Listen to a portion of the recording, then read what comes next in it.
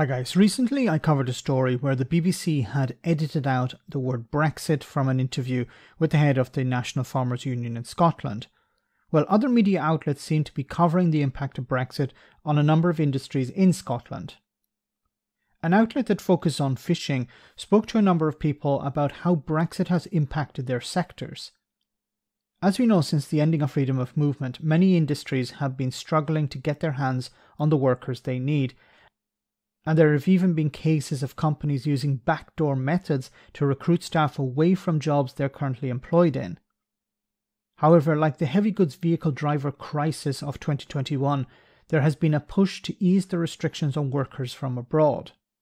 Tavish Scott, the chief executive of Salmon Scotland, said that he wants the UK government to add fish processing to the shortage occupation list in order to allow many firms to recruit workers from the EU.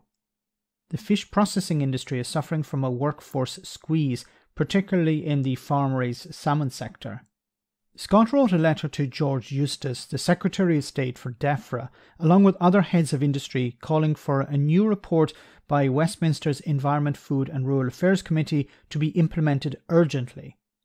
One of the recommendations is for the government in London to work with leaders in a number of industries to deal with the worker shortage and also develop a long term plan.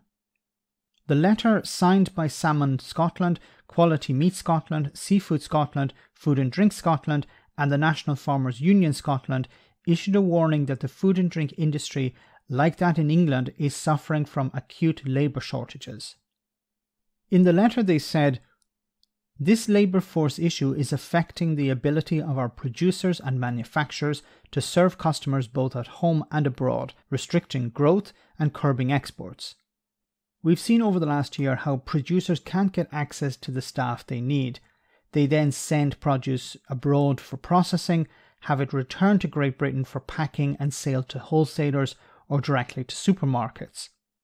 This was famously highlighted in a case of beef being sent to Ireland for processing.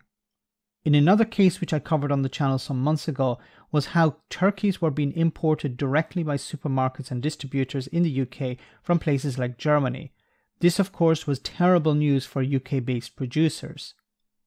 The letter went on to say the committee makes a number of recommendations, including a call for government to work with industry to address labour shortages and develop a new long term strategy to ease the situation for years to come.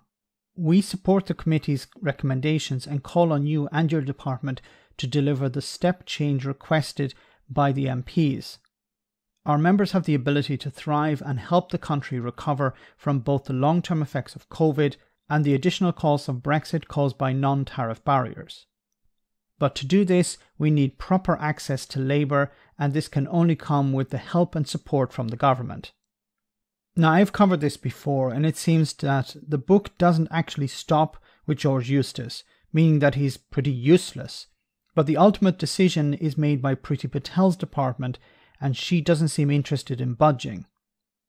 The letter continues Salmon Scotland is pleased to be part of this joint effort to call for more help from the government to alleviate labour force issues affecting the food and drink sector. Fish processing, particularly in farm raised salmon, is suffering from a labour squeeze, and we want government to help by implementing the recommendations in the committee's report. Once again, I think George Eustice knows about these problems but he's also a Brexiteer and ex UKIPper who has lied to farmers and fishermen for years.